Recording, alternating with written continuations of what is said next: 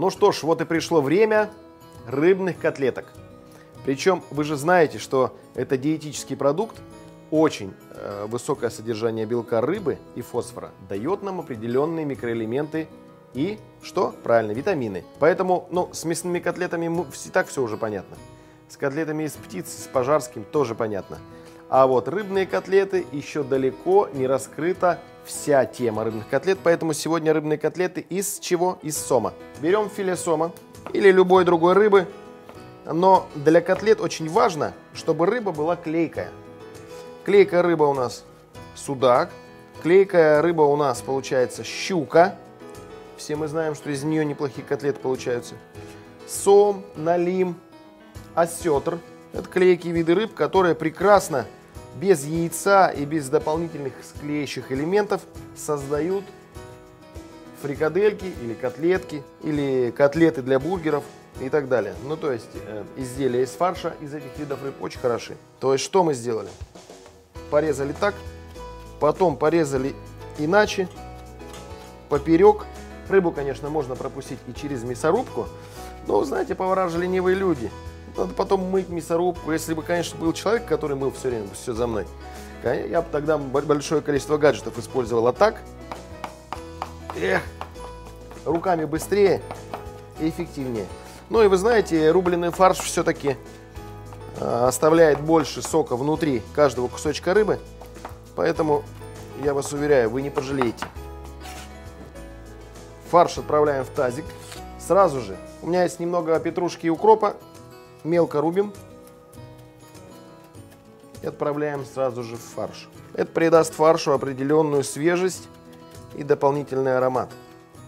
И сразу же отправляем в фарш.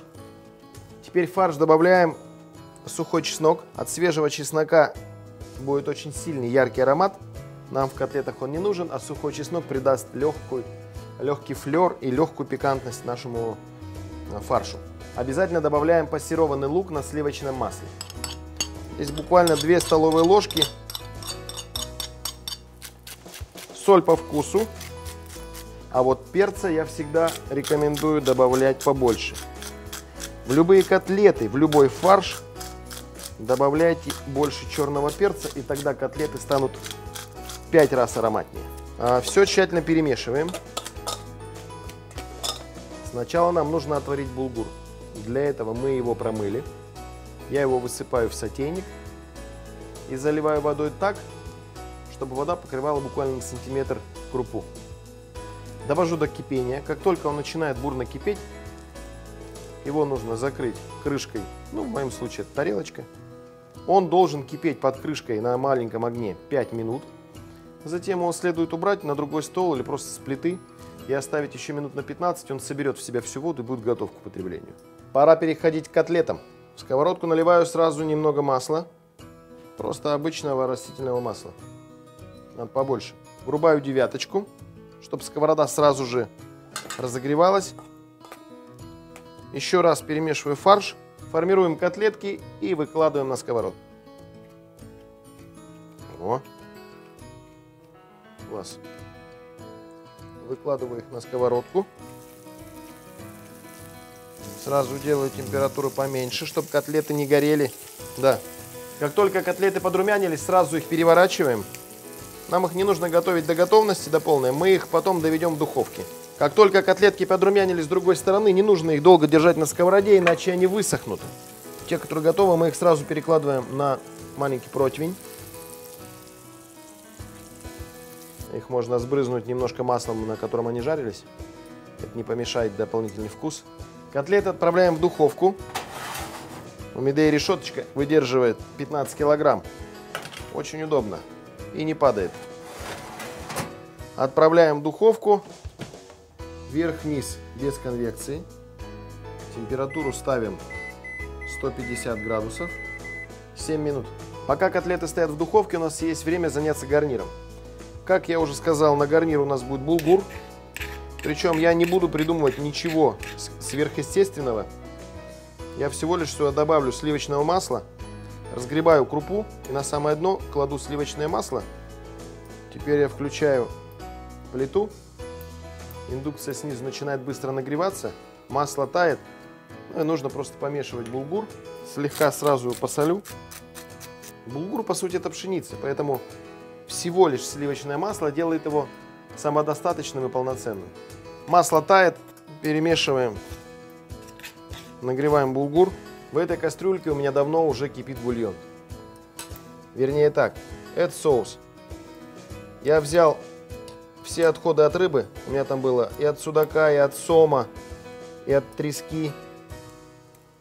Сложил все в кастрюльку, добавил туда морковь и лук, лавровый лист обязательно посолил. И варил, варил, варил, варил, варил, пока у меня не осталось на дне вот буквально литр. Затем я все это процедил вот сюда, через марлю в мелкую кастрюльку. Теперь в бульон осталось добавить сливки. И он будет полноценным соусом. Желающие еще могут сюда добавить немного сливочного масла, потому что у меня, например, рыба вся такая нежирная. Судак, треска, сом, они, это все как бы отсутствие жира. А соус хочется, чтобы он был масляным таким, сливочным.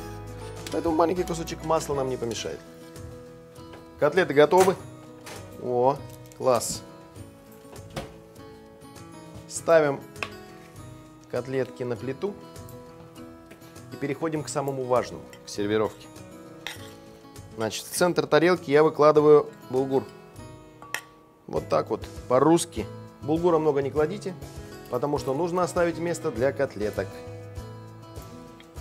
Ой, какие румяные, красивые котлетки получились. Давай-ка. Ты у нас в эту сторону. А ты с этой стороны. Во. Котлетки у нас здесь как дома. Ну и теперь, конечно же, соус. М, ух ты, какой вкусный. Выпаренный концентрированный рыбный бульон. К рыбным котлеткам.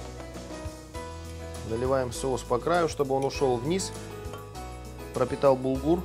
Теперь каплю оливкового масла всего лишь для декора. Оливковое масло зелененькое. Оно очень красиво будет смотреться на рыбном бульоне. И не забывайте про украшения. О! Котлетки с булгуром, да и с вкуснейшим рыбным соусом. Конечно, это такое вот теплое, вкусное домашнее блюдо. Мидея, почувствуй себя дома.